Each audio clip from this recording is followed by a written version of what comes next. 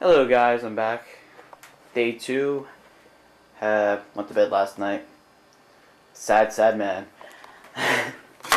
this sucker, the other pack that I have, which is downstairs, does not work. So, these things are fraud. Anywho, I still am able to get onto the internet, obviously, because I'm running software updates.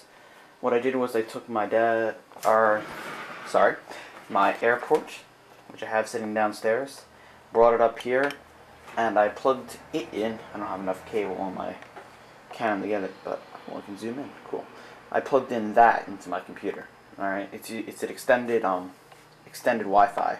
So I have my main airport, which is at Airport Extreme, time capsule, sitting in my other part of my house, and I have this sitting in my other half of my house, which keeps Wi-Fi here, and I'm plugging that directly into my computer.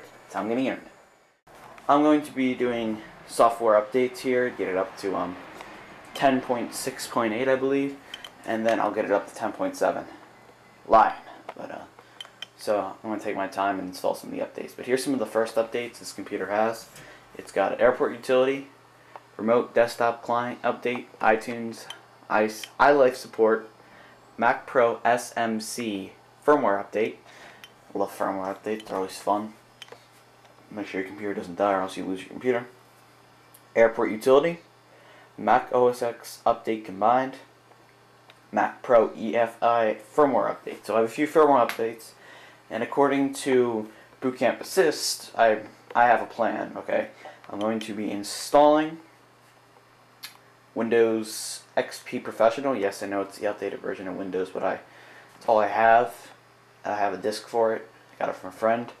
I intend to install a partition of Tiger. So I have all these partitions set out on my main boot up disk, which is going to be my small 250 gigabyte drive, which is standard. You put your smallest one as your boot up disk. Hear that? Oh, it's just beautiful sound. It means it's working hard. Uh, it's about almost done, the update. You can see that. Zoom in a little bit. It's uh, almost done installing all the items. It's pretty fast. I mean, considerably. I've updated like 300 laptops in Snow Leopard doing system updates from a local server, uh, update server, which took about 40 minutes. That's this took 35 minutes, and it's using the extended wireless off of a airport, which is makes it extremely slow. You would think, because it's extended off a Wi-Fi access, and it's going through another airport, which you would think would take longer, but it doesn't. It actually took 30 minutes to download all the updates off the Apple servers out in California. So, pretty surprised at that, and it's almost done. Installing took literally five minutes to install over two gigabytes of data, which amazes me still. It's crazy. I can't believe it did it that fast. But I just like hearing the noise that it makes with the hard drives writing. It's amazing. Alright. It's moving everything into place.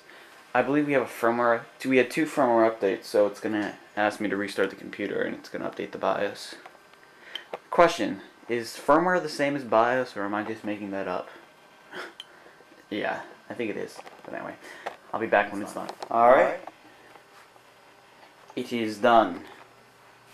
Just finished the updates. Took about um, 35 minutes. Pretty pretty good. Updated to Lion. I think it was 0.6, so it's 10.6.6. Gotta get up to 10.6.8, so I can get up to 10.7. Get up to and then do some more software updates. Then I'll finally install some of the operating systems, maybe, or I'll just update the software so I can use the software finally. Because I've been waiting a day to use it because right now there's nothing to use on it, but it's looking pretty sweet. Oh, look, right there. Look at that. App Store logo. Finally have it on the computer.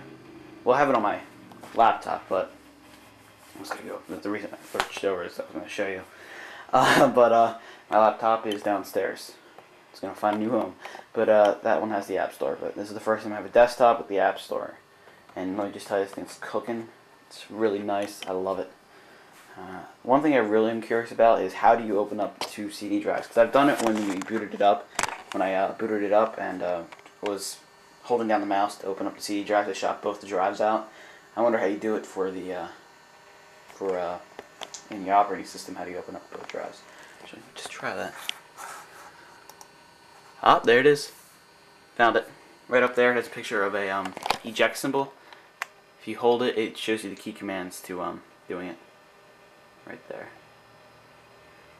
You see that? It says open lower, open upper.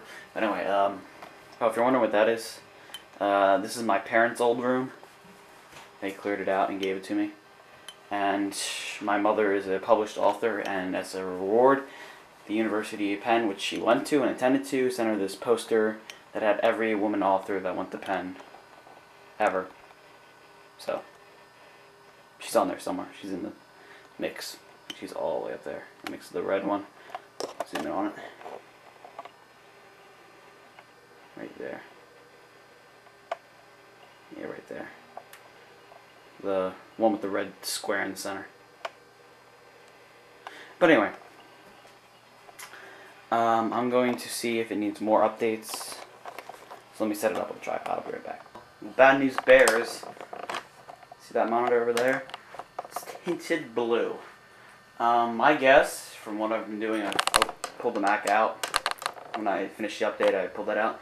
What I'm getting is is that the wire shot because I plugged the I switched the uh, displays out, the, the outs on the graphics card, and the monitor that monitor stays blue, but I plugged it into that into its slot, and that one remained that way. So I'm guessing it's a bad cable, so I'm gonna go swap that out.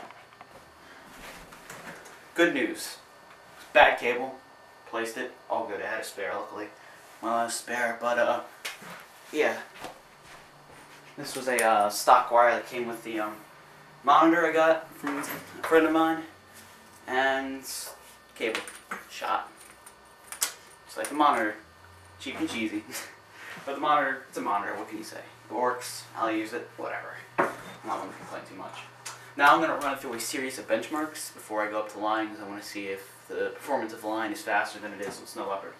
Oh, Kansas software update for now. But um, I will get up to Lion. First I'm going to do some benchmarks. I'm going to do a Geekbench benchmark and I'm going to download Minecraft and see how run how fast that runs.